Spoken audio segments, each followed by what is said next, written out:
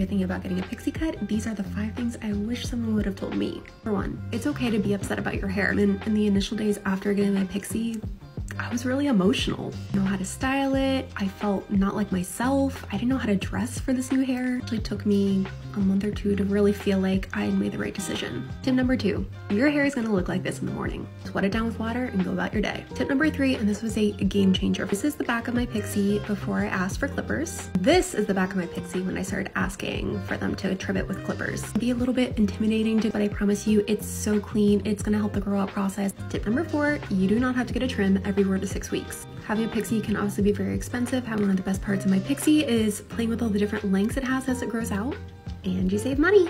And tip number five, there is an unspoken pixie cut sisterhood. So funny, but whenever I see another person out in public and they have a pixie cut, we both kind of give each other this knowing stare.